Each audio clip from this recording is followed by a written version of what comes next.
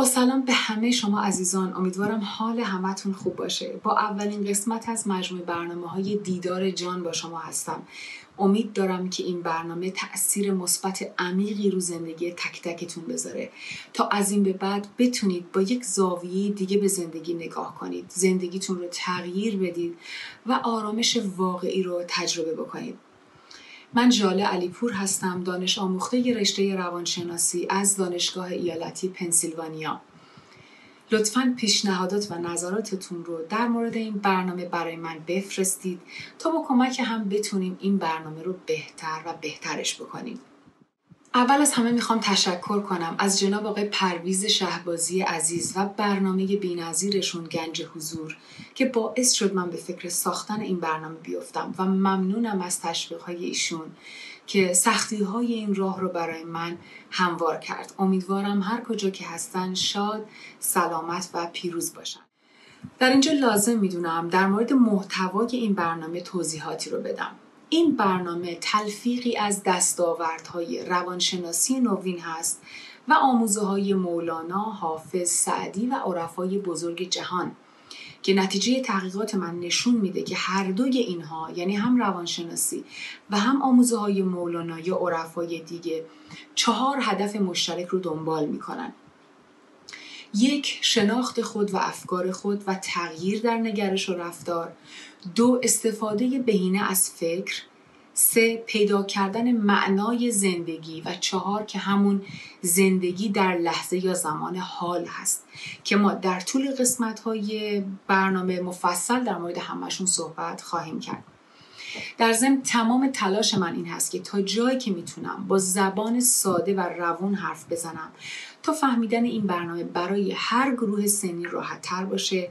همچنین در کنارش سعی می‌کنم تا جایی که می‌تونم اصطلاحات انگلیسی کمتر به کار ببرم چون در واقع این برنامه یه برنامه روانشناسی هست و نمیشه که اصطلاحات رو به کار نبرم.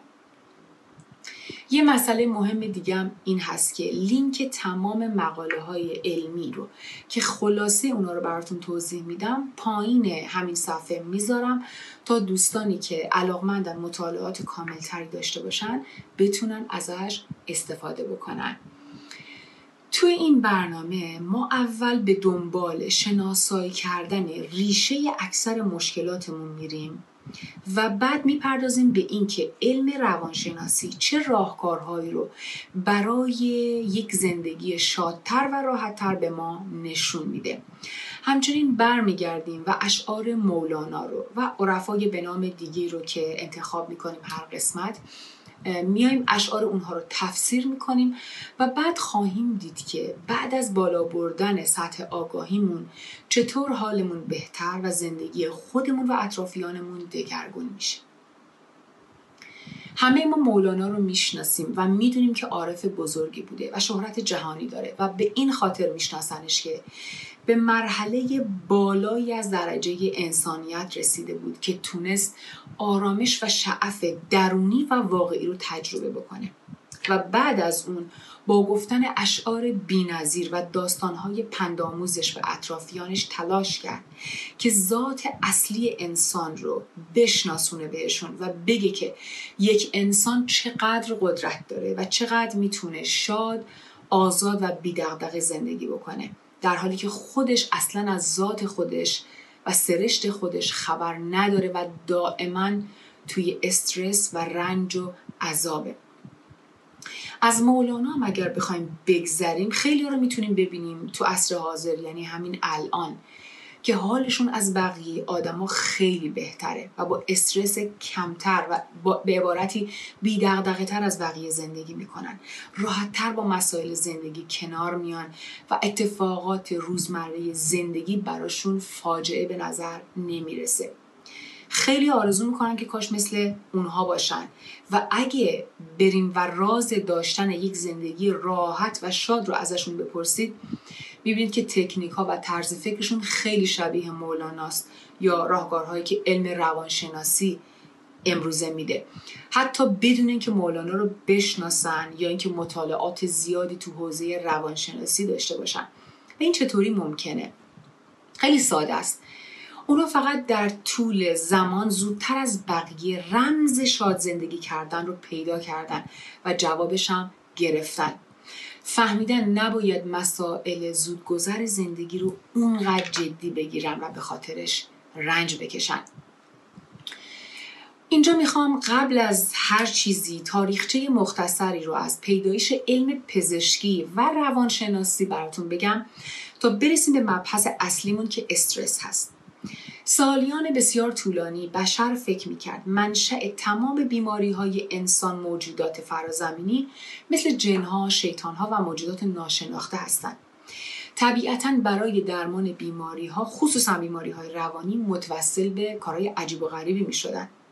مثلا بیمارها رو با وسیله های مختلف میبستن زندانی می‌کردن یا با مواد مختلف شک می‌دادن یا با عمل جراحی جمجمه سرشون رو میشکافتن قسمتی از مغز رو خارج می‌کردن و متاسفانه هیچ نتیجه خوبی هم به دست نمی آوردن.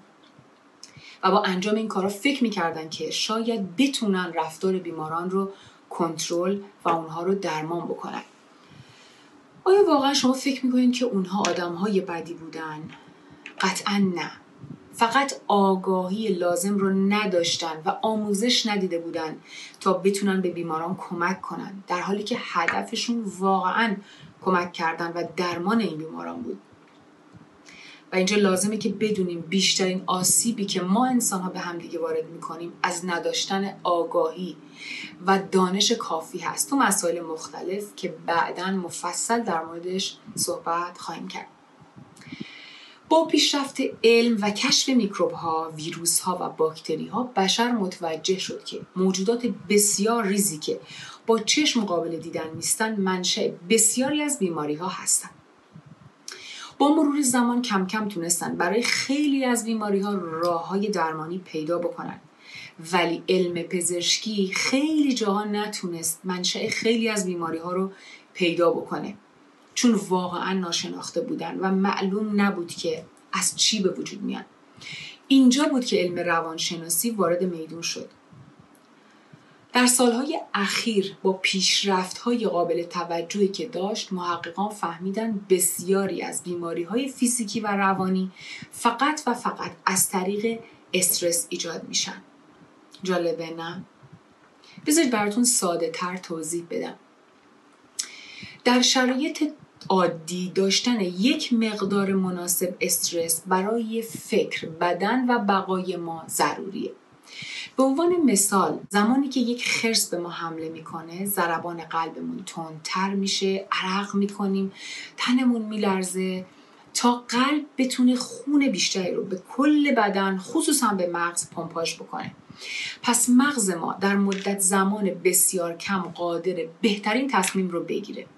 که آیا سری پا به فرار بذاریم یا ایستیم و مبارزه بکنیم. پس این کار به بقای ما کمک می‌کنه. درسته؟ بدن در شرایط طبیعی غذا و اکسیژن مصرف می‌کنه ولی در شرایط بحرانی غذا و اکسیژن بیشتری مصرف می‌کنه تا بتونه شرایط بحرانی رو بهتر پشت سر بذاره. ولی اگه شرایط بحرانی برای ما هر روز به دفعات زیاد تکرار بشن چی میشه؟ بدن انرژی یا همون غذای بیشتری مصرف می‌کنه و دائم تو اون شرایط بحرانی باقی میمونه. پس از حالت تعادل خودش دور میشه. و اگه بدن از حالت تعادل خودش زمان زیادی دور بمونه اصلا شرایط خوبی نیست و ما دیر یا زود دچار بیماری خواهیم شد. تحقیقات نشون میده اگه استرس روزانه شما از حد طبیعی و نرمال بیشتر بشه و بدن حجم بالایی از استرس رو تجربه بکنه به مرور زمان سیستم ایمنی بدن شما ضعیف میشه عملکردش مختل میشه و ریسک ابتلا به بیماری های مختلف و جدی در بدن شما بالا میره. مقاله های زیادی هست که این موضوع رو به خوبی نشون میده. من لینک یکی از این مقاله ها رو انتخاب کردم و پایین این صفحه برای دوستانی که می‌خوان مقاله رو به طور کامل مطالعه بکنن می‌ذارم. پس متوجه شدیم که استرس رو سیستم ایمنی ما چه تاثیر مخربی می‌ذاره. یکی دیگه از این مقاله ها نشون داده که بیماری هایی مثل اضافه وزن بیماری های خواب دیابت، زخم معده، مشکلات گوارشی، درد گردن، درد پشت و کتف، سکته مغزی، پوکی استخوان، دپرشن، سردردهای میگرنی و کلسترول بالا ممکن از استرس به وجود بیان یا پیشرفت بکنن و بدتر بشن. مطمئنا تا اینجای کار متوجه شدید که استرس چقدر خطرناکه و باید جدی گرفته بشه. پس حالا که دونستیم استرس زیاد و طولانی مدت. چه تاثیر مخربی روی سلامتی جسمی و روانی ما می‌ذاره؟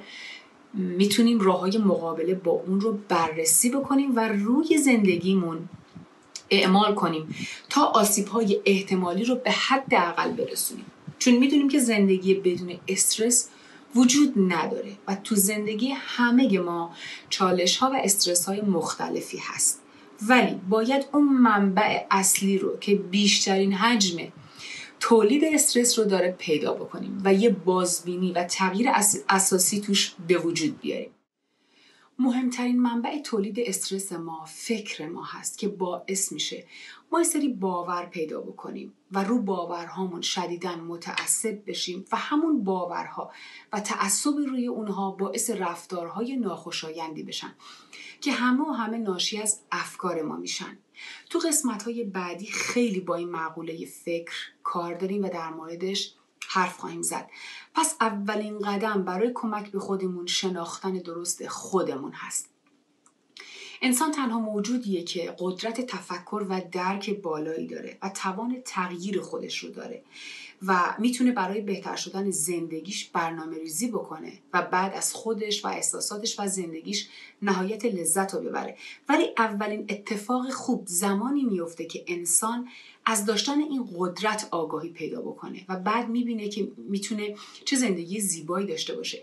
پس اولین قدمی که گفتیم شناخت خودمون و کشف اون چیزهایی که از ابتدای خلقتمون در وجودمون قرار داده شده بود. ما باید بدونیم که برای آرامش و رهایی درونی به هیچ منبع بیرونی نیاز نداریم و همه ما اون آرامش الهی رو تو وجود خودمون داریم. فقط سرگشته شدیم و مسائل ظاهری و بیرونی و سطحی مثل یک پرده روی اونها رو پوشونده و کافیه که فقط آگاه باشیم و این پرده رو کنار بزنیم تا دنیا رو و زندگی رو اونطور که هست ببینیم. در اینجا یه شعری براتون انتخاب کردم از اقبال لاهوری که عظمت انسان رو با این شعر, شعر میلاد آدم به تصویر کشیده. نعره زد عشق که خونین جگری پیدا شد. حسن لرزید که صاحب نظری پیدا شد. فطرت آشفت که از خاک جهان مجبور خودگری خودشکنی خودنگری پیدا شد.